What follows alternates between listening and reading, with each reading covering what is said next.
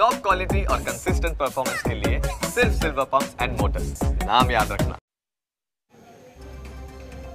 અમદાવાદ ખાતેથી જે ત્રણ નકલી સીબીઆઈ અધિકારી ઝડપાયેલા, તેમની પૂછપરછની અંદર અનેક એવા ઘટસ્ફોટ થયા છે અને મોટા ખુલાસા સામે આવ્યા છે કે જ્યાં ત્રણ નકલી સીબીઆઈ અધિકારીમાં એક બીજેપીનો કોર્પોરેટર હોવાનો ઘટસ્ફોટ થયો છે.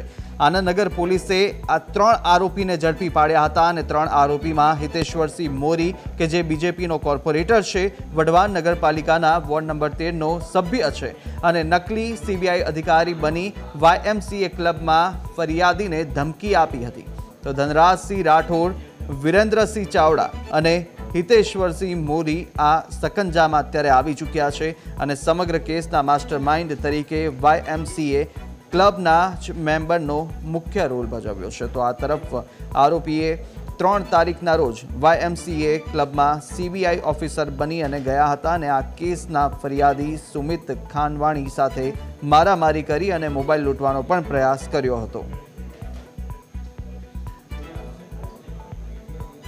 ક્યારે આ નકલી પોતાના કાઉન્સિલરો ઉપર સકંજો કસશે?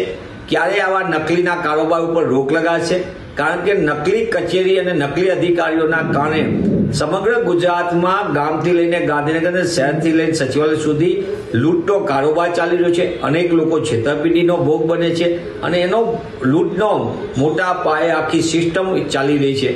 તેવા સંજોગોમાં સરકારે આવા નકલી કારોબાર કરનારા લોકો ઉપર કડકમાં કડક પગલાં ભરવા જોઈએ કે જાહેરાત કરવાની કે ચમરબંધીને છોડીશું નહીં. નિવેદન આપી દેવાનું ને પછી ચમરબંધીને ક્યારે પકડવાના નહીં. એના કારણે ગુજરાતમાં નકલીઓનો કારોબાર ઠેર ઠેર ચાલી રહ્યો છે અને એનો લૂંટ ગુજરાત અને ગુજરાતીઓ બની રહ્યા છે.